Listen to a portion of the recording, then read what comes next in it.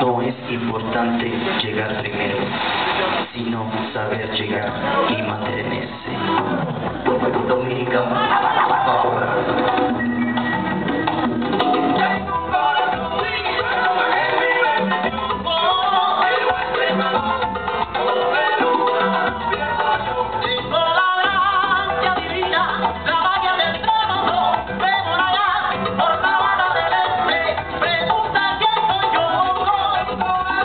Amen.